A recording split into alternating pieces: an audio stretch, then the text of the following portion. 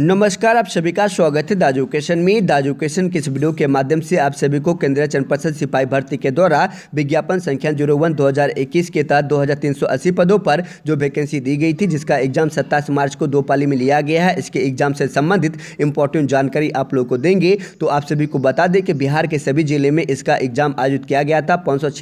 सेंटरों पर इसका एग्ज़ाम लिया गया था। इसके एग्ज़ाम में टोटल छः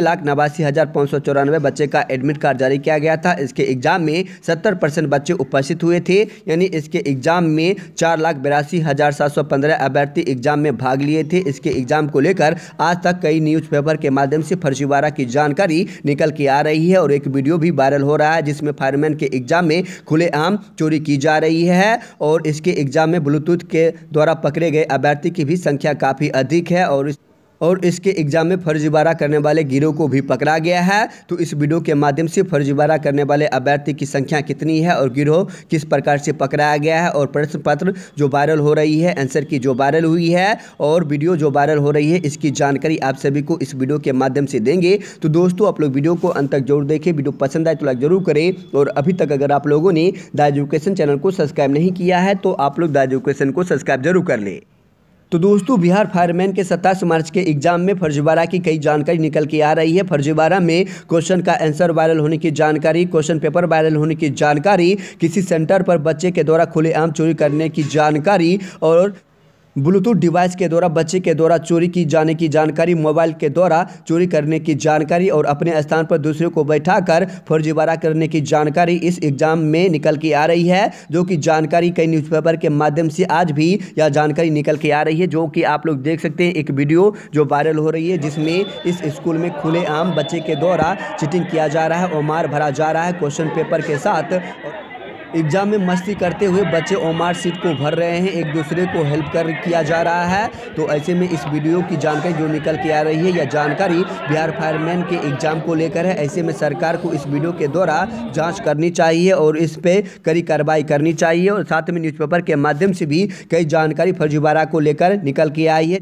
तो बिहार में ब्लूटूथ डिवाइस के द्वारा फर्जीवाड़ा करने की जानकारी जो निकल के आ रही है, बिहार के सभी न्यूज़पेपर के माध्यम से जानकारी यह है कि फायरमैन की परीक्षा में एक जगह पर सत्रह फर्जी अभ्यर्थी पकड़े गए, दूसरी जगह पर तिहत्तर फर्जी अभ्यर्थी पकड़े गए तो कहीं तीन अभ्यर्थी पकड़े गए हैं तो कहीं फायरमैन की सिपाही भर्ती परीक्षा में आठ से दस हज़ार में बेचे गए हैं। प्रश्न पत्र उत्तर चार साथी भी पकड़े गए हैं। सत्ताईस मार्च की परीक्षा में प्रश्न पत्र लीक होने का मामला भी सामने आया है, जिसमें छः अभ्यर्थी को गिरफ़्तार भी किया गया है और उसमें फर्जीवाड़ा करने वाले गिरोह को भी पकड़ा गया है। इन बिहार फायरमैन के एग्ज़ाम में प्रश्नपत्र लीक होने की जानकारी के साथ ब्लूटूथ डिवाइस के साथ मोबाइल को भी एग्ज़ाम हॉल में अंदर लिया गया है और मोबाइल में भी प्रश्नपत्र का आंसर मिला है, जिसकी जानकारी न्यूज़पेपर के माध्यम से भी निकल के आ रही है और बिहार के सभी ज़िले में जो जानकारी प्रकाशित की गई है, इसके माध्यम से एक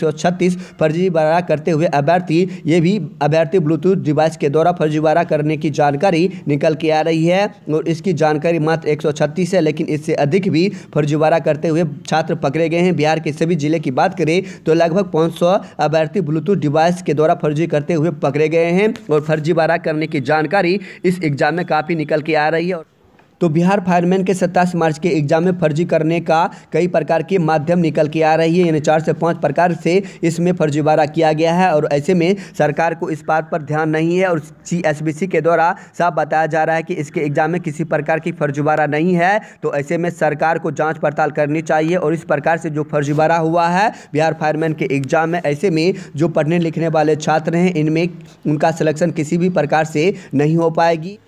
तो बिहार फायरमैन के एग्ज़ाम का हालात इस प्रकार है, लेकिन सरकार को इस बात पर ध्यान देना चाहिए और जितने भी फर्जी अभ्यर्थी पकड़े गए हैं, उन सभी से पूछताछ करके गिरोह का पता लगाना चाहिए, तभी बिहार की हालत सही हो सकती है। बाकी